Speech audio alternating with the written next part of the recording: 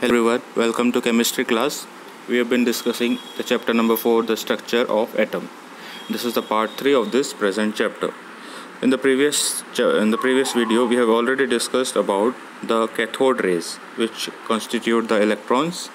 In today's video we will continue with the remaining subatomic particles that is the proton and the neutrons.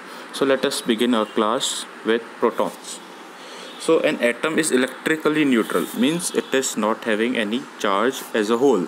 But these electrons are present in that. We have already discussed that. Electrons are present in the atom and all of them are negatively charged. So there has to be some particle which is balancing this negative charge. So hence we can say atom must contain the positive charge particle. To to balance this negative charge particle something should be there which is positively charged just to maintain the electrical neutrality in the atom.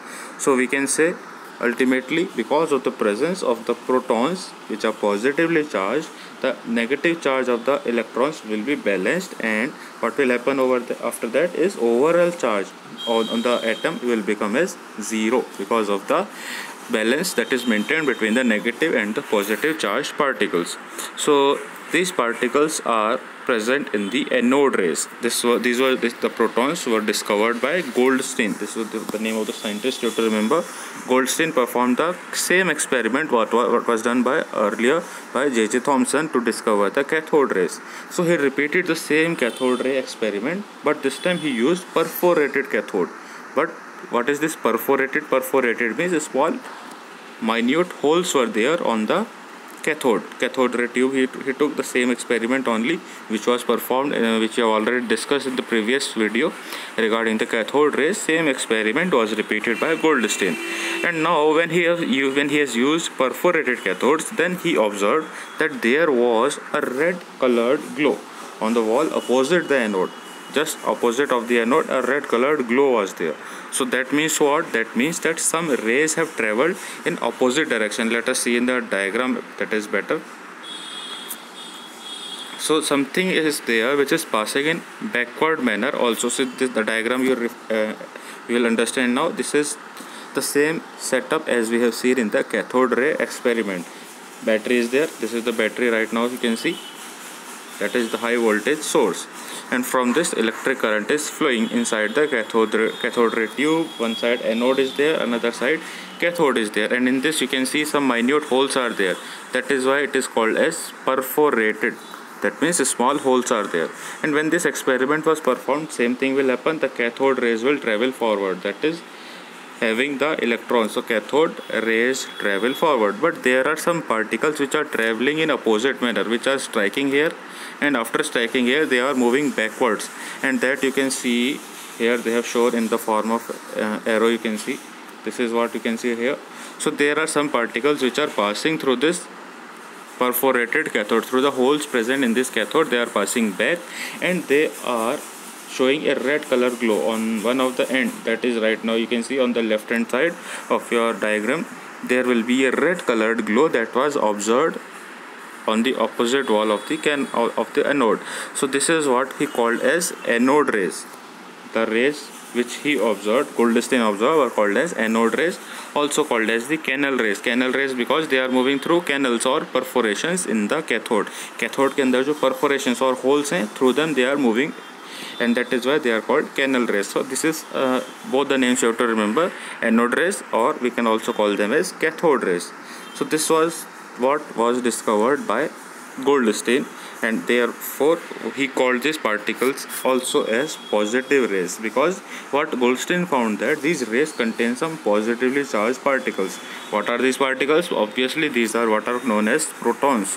So this was the experiment where protons were discovered in the anode rays using this same experiment which was done by Sir J.J. Thomson but only a small adjustment was done. In this case was he was using a perforated cathode not a normal one.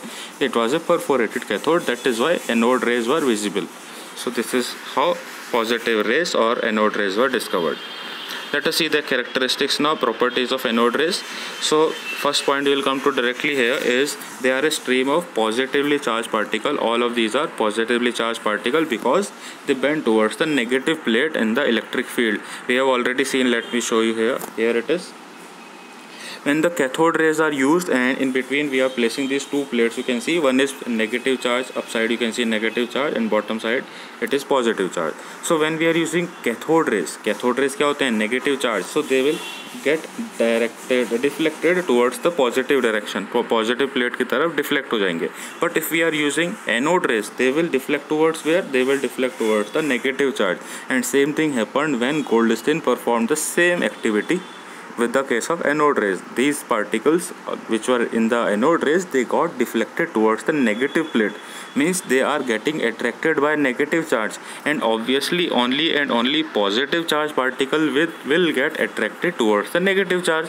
So that proves that anode rays are having positive charged particles which are called as protons. And this small activity proves that protons are positively charged particle. What is the reason they are positive charge because they get attracted or they get deflected. Deflected is better term. They get deflected towards this negative plate negatively charged plate. So that is why protons can be called as positive particles. Second point now the particles constituting the anode rays differ with the gas used in the discharge tube. There is a gas that is filled inside this uh, cathode ray.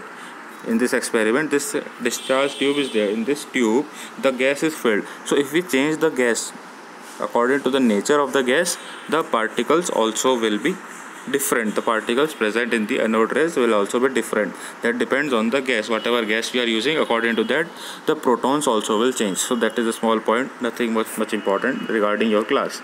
Next is now what constitute these rays? What is actually forming these rays?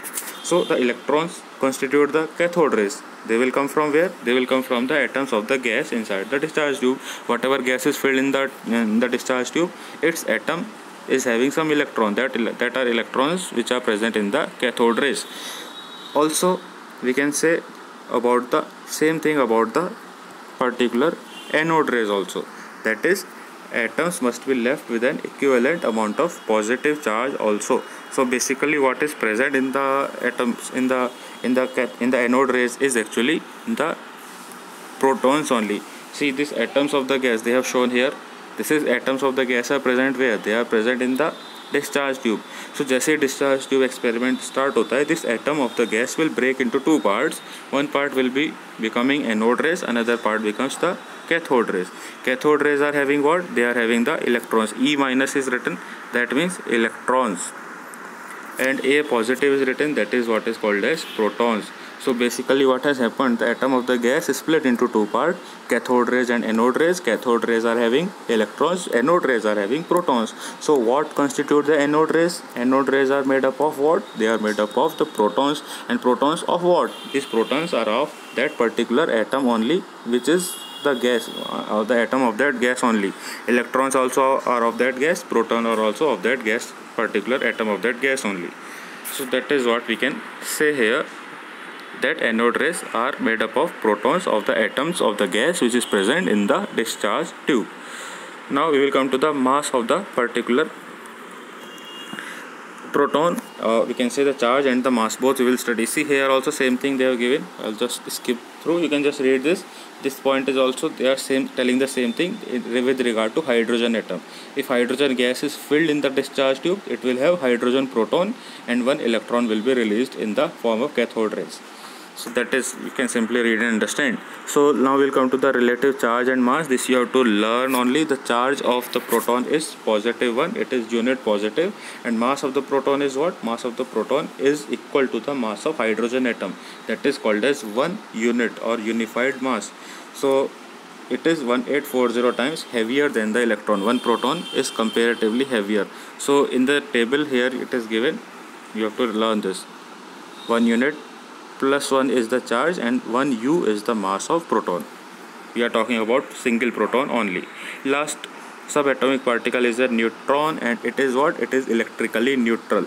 See electrically neutral means it is not having any mass. So regarding this we will be discussing in the next video and also we will be discussing about the nucleus how the nucleus that is the center of the atom is is the nucleus only so we'll discuss about this in the upcoming video. So today we have discussed all the topic all the aspects related to the anode rays and the protons and their characteristic charge and the mass. This you can read through again and we will be continuing in the next video. Thank you for today